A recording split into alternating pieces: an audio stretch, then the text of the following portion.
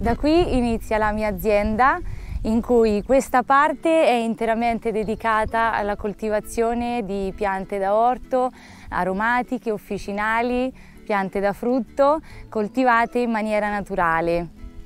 Alle mie spalle vedete le serre in cui seminiamo e vediamo nascere e crescere le nostre piantine che saranno destinate poi alla vendita e per le poche lette eh, la messa a dimora su questo terreno.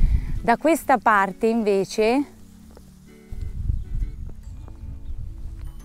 troviamo il frutteto biodiverso. Perché l'abbiamo chiamato così?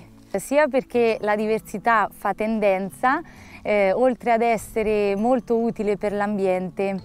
Infatti eh, non abbiamo piantato più di due o tre tipi di frutti della stessa specie eh, e ci abbiamo integrato eh, delle gilde di aromatiche officinali come i rosmarini, i timi, le lavande e, e così via.